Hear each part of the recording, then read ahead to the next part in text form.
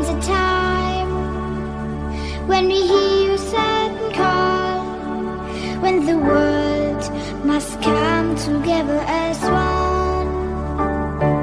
There are people dying, and it's time to lend a hand to life, the greatest gift of all.